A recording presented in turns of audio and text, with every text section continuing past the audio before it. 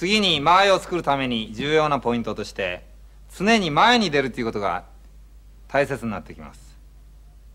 これは相手が下がっている時に技を出したのでは届かず相手が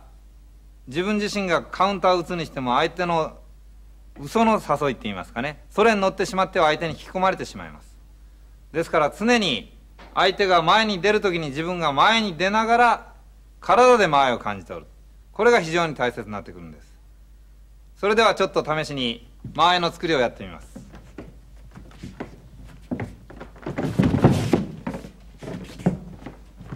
このように下がってる相手に対する攻撃には相手の力がいくらどのようなパワーを持っていようと力を発揮することができません。ところが前に出るタイミングを捉えますとそういうように相手の出を捉えることによって自分の力を相手に発揮することが可能になります次に相手を引き込む場合にもこの前に出るということが非常に重要になっています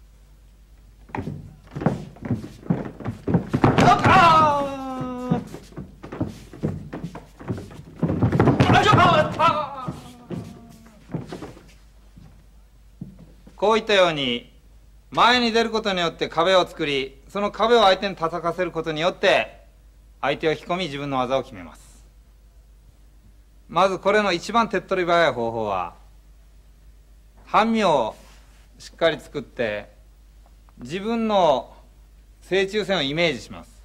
そのイメージの中に自分の体を全部入れてしまうような気持ちを持つということです。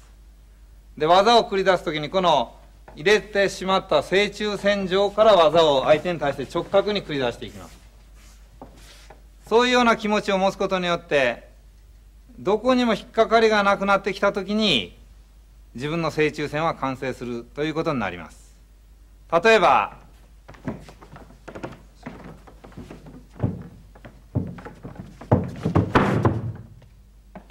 今彼のワンワンツーやりましたけど今の動きは常にこの正中線の幅が広い形の攻撃になってます。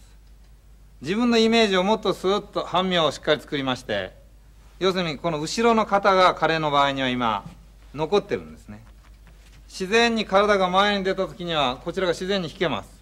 こういう状態を自然に立つことによって正中線が引っかかりのない正中線を作るということが可能になります。もう一回そういうイメージでやってみても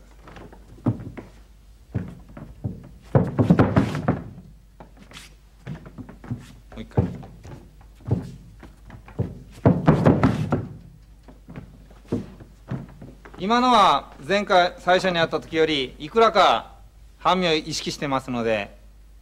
その正中線の幅が狭くなってきてます。